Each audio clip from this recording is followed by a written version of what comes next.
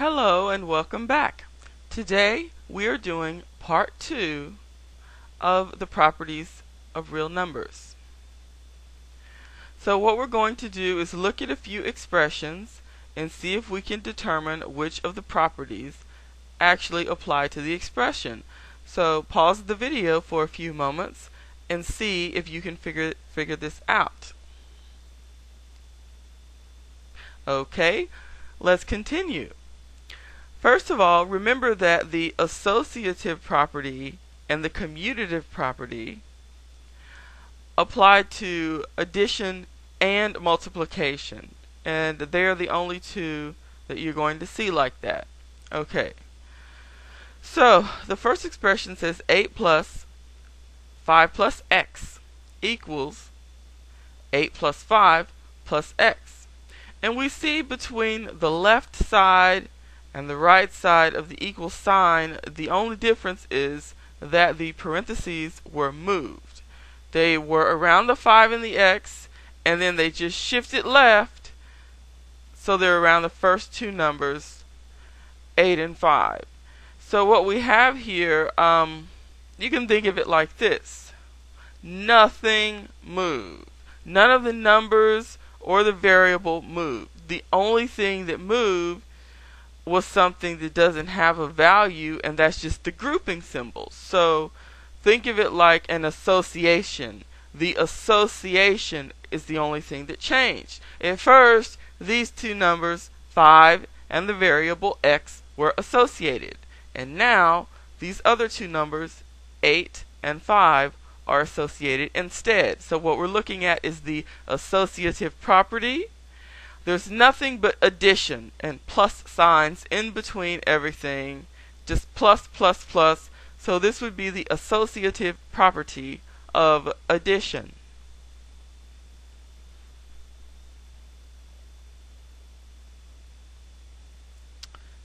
Let me move that up.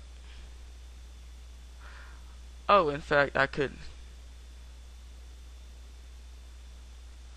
Let me just write that.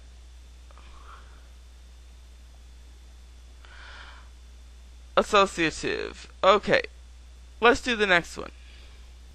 We had the the parentheses um, were around seven times x, and on this side it's still seven times x. So seven times x, and still on the other side seven times x. So the association hasn't changed. There is still a grouping association um, between 7 and x. Okay, so what did change? Well, it looks like the numbers uh, have moved around. If you if you look at it like this way, one term is the 7 times x and the second term is the 10. Okay, so the terms switched places.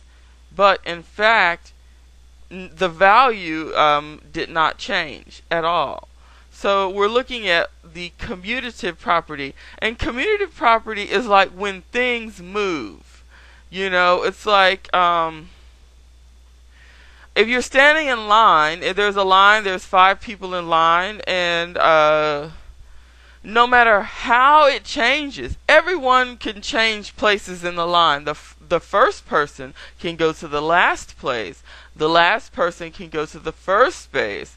The second and third um, in line can switch places, but the fact of the matter is, all of the same people are still all in one line. So that's commutative. It's like the way things uh, the way things are moved. So the the brackets did not move. This is still the same term. You have a term in here well, the brackets have these uh, the 7 and the x together, so you can think of that as one term. You can think of this as as another separate term. So the terms have not changed because the brackets, the parentheses are still around the same exact terms. But you've just switched the order of the terms, is all that you did. And um, the value is the same on the left of the equal sign as it is on the right of the equal sign. Okay, so that was the commutative. And we were doing multiplication, so the official name would be commutative property of multiplication, but you will still get the answer right if you just say commutative. Okay, so let's look at the next one. Okay, 7x plus 2 plus 14xy equals 7x times 1 plus 2y plus 2. So, are there any terms the same on the left and right side of the equal sign? And the fact of the matter is, two of them are the same. You have the 7x on the left, you have 7x on the right, you have 2 on the left, you have a 2 on the right. So what happened? Well, what happened was, and it's kind of hard to see it because it's already been distributed, but um,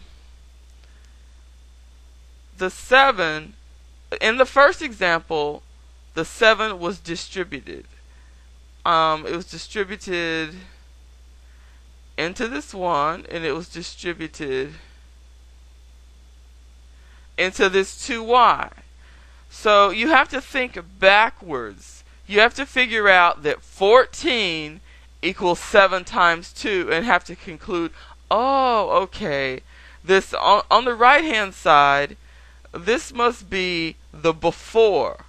And on the left hand side, this must be the after it was distributed. Okay, so 7x times 1 equals 7x. 7x times 2y equals a positive 14xy. Okay, so that's what you get. And the only thing left over after you distribute is a 2.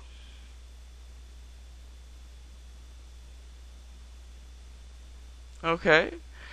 And look at the left.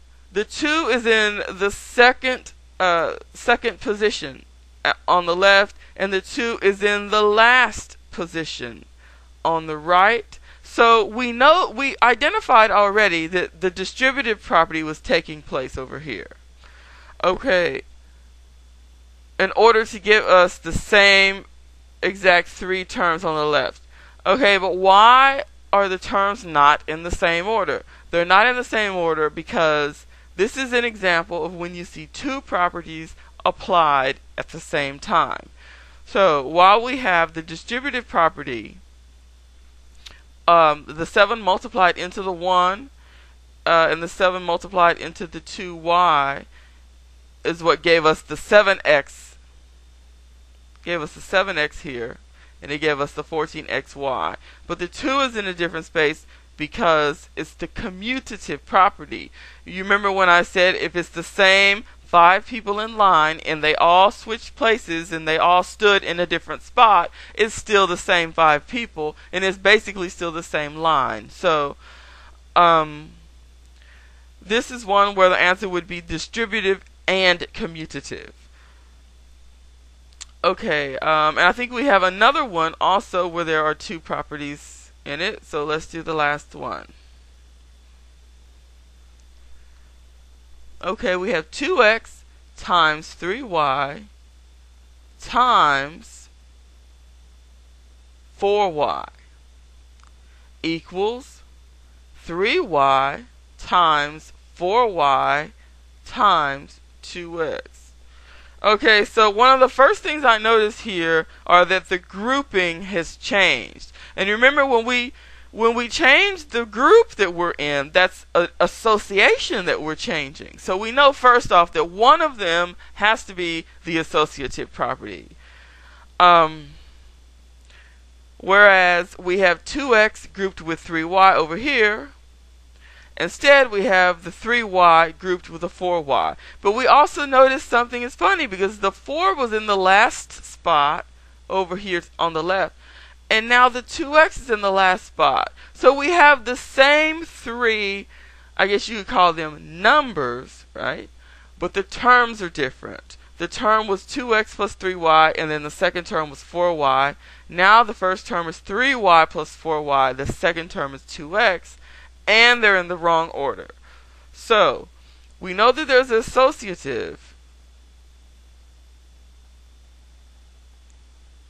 And it looks like there's also commutative because um, the 2 was first right here. What is wrong with my handwriting? Okay, and now it's last. Okay, so associative and commutative. And that's it. And I think the hardest ones are going to be um, are going to be the ones where there's more than one property because you just have to be able to see um, what's going on. But the first thing I would start with is the grouping. Okay, are the numbers grouped exactly the same way? If they're not grouped the same way, it's, it looks like an associative issue. And then look um, at the order. Has the order been changed? You know, at all. And if the order has been changed, then that's a commutative thing. Does it look like anything was multiplied? You know, does it look like anything was multiplied? If if so, then something was distributed, and so forth and so on. And all it takes is practice, and pretty soon you will be ready for your exam. Okay, well that's it for today. Uh, stay tuned for the next video. I'm not sure if we're going to stick with algebraic expressions or not, but I guarantee it'll be a great video. Thanks for watching, and I'll see you next time.